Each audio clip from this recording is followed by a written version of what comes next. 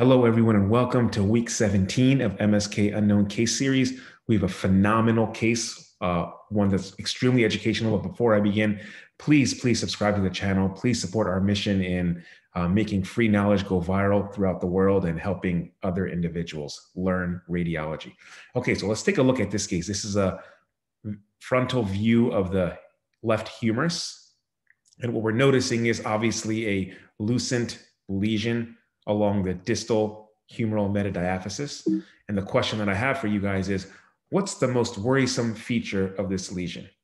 Is it periosteal reaction, soft tissue mass, endosteal scalloping, or wide zone of transition? What's the most worrisome feature of this lesion? And I'll give you a couple seconds to ponder about that.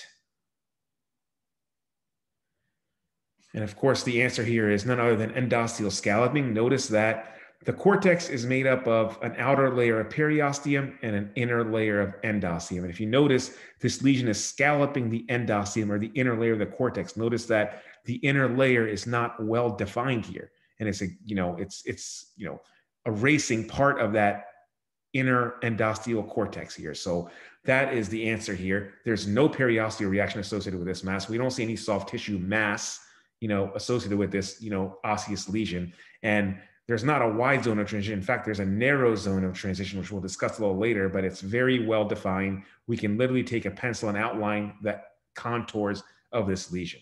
Okay, so endosteal scalloping is the answer here. I want to take a minute to talk about how we evaluate bone lesions. And that's the purpose of this case. The purpose of this case is not really to identify a final diagnosis, but really to get you to evaluate a bone lesion appropriately because I think many, many residents struggle with this. So I want to take this opportunity to tell you how I evaluate a bone lesion.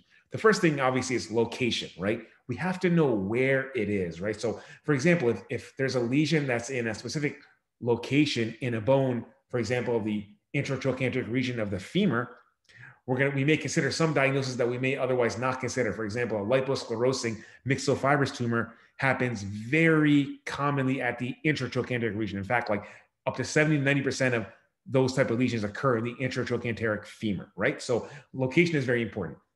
Location within a long bone is also important. So whether it's, you know, diaphyseal, metaphyseal, or even epiphyseal. So for example, an epiphyseal lesion, uh, you know, we tip, if we see a lucent or an osteolytic or radiolucent lesion in the epiphysis, we usually think about the characteristic differential of four things, right? So a chondroblastoma, especially in a child, eosinophilic granuloma, subacute osteomyelitis in the form of, of a Brodie's abscess, or a giant cell tumor. Those are the four things that we characteristically see in the epiphysis. So the location is very key. If if a lesion is diaphyseal or metaphyseal, like in our case, metadiaphyseal, you know, that may not necessarily be as helpful in narrowing the differential, but it can sometimes be helpful in ruling out certain things. Is the lesion solitary or multifocal? Obviously, if we see multiple lucent lesions or multiple lytic lesions, we may consider the diagnosis of a metastasis or you know myeloma or lymphoma, something like that, right? If it's solitary, we may consider other entities. So you know that is an important question that you should always ask. And then these words matrix mineralization get tossed around a lot in talking about osseous lesions or bone lesions, but very few people really understand what they mean. So the matrix is what type of material is being produced by the lesion itself. So for example, a bone lesion like an osteosarcoma, which is a malignant bone tumor, it produces bone. So there's osseous matrix, right, in, in the form of fluffy, amorphous kind of density or calcification. Chondroid tumors produce cartilage. So the matrix is, you know, rings and arcs matrix, right? That's what we usually talk about. Fibrous lesions produce fibrous tissue, right? And it usually is ground glass material or ground glass appearance on radiography. When we say mineralization, that's the calcification associated with the lesion. So when we talk about matrix mineralization, we're talking about the material that's being produced by the tumor and is there any calcification associated with that lesion? So I want that to be very clear to everyone. And I think a lot of residents struggle with that concept of what we actually mean by matrix and mineralization. This is a very important that is it narrow or wide zone of transition? This may be the most important feature to evaluate if something is going to eventually be benign or eventually be malignant. Oftentimes we can't tell, but sometimes it can suggest a specific diagnosis. So something that is has a narrow zone of transition, like in our index case, it's very well defined. You can literally take a pencil or a pen and outline the margins of the lesion, right? That's what we mean by a narrow zone of transition. That usually is seen in benign entities. If something has a wide zone of transition, you can't quite outline where the lesion is starting, where it's ending. The borders or the margins are a bit obscure, and that favors more of an aggressive process. Okay, so very important to understand the difference between a narrow zone and a wide zone of transition. Is there periosteal reaction? In our case, there was not periosteal reaction, but is it benign or is it aggressive periosteal reaction? And that will make you think about certain entities. So benign periosteal reaction is usually solid, you know, well-defined periosteal reaction. Aggressive can be, you know, sunburst type that we sometimes see in Ewing sarcoma or like a Codman's triangle where, you know, there's periosteal reaction that's, you know, lifting the periosteum so much that the bone doesn't have enough time to form normal, you know, periosteal bone, right? Periosteal new bone. So that's very aggressive. That's seen often in osteosarcomas. Uh, some aggressive types of, osteos, of periosteal reaction can also be seen in benign things like osteomyelitis. So, you know, we typically call it benign or aggressive. It's not always possible to tell if something is benign or malignant solely on the periosteal reaction, but it's an important thing to consider when you're evaluating a bone lesion.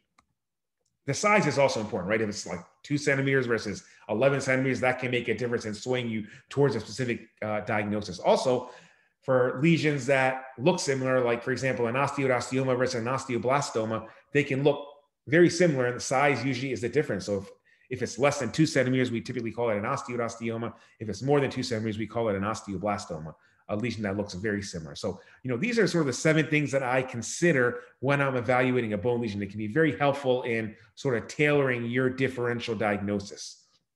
Now, in our index case, we need to know a little bit more about the patient, right? And we, I told you nothing about the patient. Is this patient 17 years old? Is this patient 67 years old, right? That's going to change the differential significantly, right? If this patient is like 17, 23, 24, we're going to think about more benign things like, you know, a solitary bone cyst, maybe an aneurysmal bone cyst, an intraosseous lipoma? Could this be a focus of fibrous dysplasia? All benign entities, right? But if this patient is 67 years old, they're coming in, they have pain, they have this lesion, although it's you know pretty well defined, narrow zone of transition, there is some endosteal scalloping. We may consider more malignant or aggressive entities like metastases, multiple myeloma, lymphoma, you know, some of these things, right? So the age really makes a difference in, you know, deciding what path you want to go down for your differential diagnosis. So I think I can't state that enough. We have to know a patient's age and we have to correlate what we see, you know, radiographically with the clinical picture. Now, this ended up being eosinophilic granuloma. Uh, I wasn't expecting you to know this. You know, this was actually, I didn't know this when I looked at it. We biopsied this and it came back eosinophilic granuloma. But the purpose of this is really to evaluate or how to evaluate bone lesions. But since this was EG, I want to talk about EG very briefly. It's malignant proliferation of Langerhans cells. Okay. Uh, it usually affects flat bones, but in this case, you know, it, it, affected a long bone as it can, or the spine. Sometimes when you get the vertebral plana appearance in the spine or a completely collapsed vertebral body, that's one of the manifestations of EG or eosinophilic granuloma. And remember, in this case, it was metadiaphyseal, but I told you that one of the differentials for epiphyseal lesions is EG. So, you know, it can certainly happen in the epiphysis of a long bone as well. The vast majority of these occur in young people. So 85% of them occur in patients that are less than 30 years of age. Our patient was, I think, 37 years of age. It can happen in anyone. I mean, it, it happen in 70 year olds, you know, quite frankly. But, you know, the vast majority do occur in patients that are younger. It usually has a lytic or radiolucent appearance. It can have some aggressive features. There can be a soft tissue mass. There can be aggressive periosteal reaction associated with, with the lesion as well. So it doesn't necessarily have to appear the way I showed it to you on today's radiograph. Um, you can have cortical destruction, you know, very aggressive features that may, you know, make figuring what this out very confusing. And that's why ultimately sometimes we have to biopsy some of these lesions. But more commonly, you know, the more mature lesions appear less aggressive with time. There's usually no soft tissue mass. There may or may not be periosteal reaction, but you know, with time, it appears less and less aggressive usually. Not always, but usually. And the treatment is very variable for this. Sometimes you can just observe these and watch these, and they can just completely regress with time. Other times you may have to do some, you know, bone grafting and curettage. You may even have to give chemotherapy or radiation therapy. Uh, sometimes surgery is also needed. So it's extremely variable. It depends on the patient, what it looks like, uh, if there's systemic symptoms. You know, there's all sorts of uh, decisions that need to be made with a multidisciplinary approach to figure out how to treat this effectively. So I hope this was helpful in delineating what EEG is, but more importantly, how we evaluate osseous bone lesions. Tune in next week again for another super high yield case. I can't wait to show you another great case, hopefully for the core exam. Thank you so much for your time.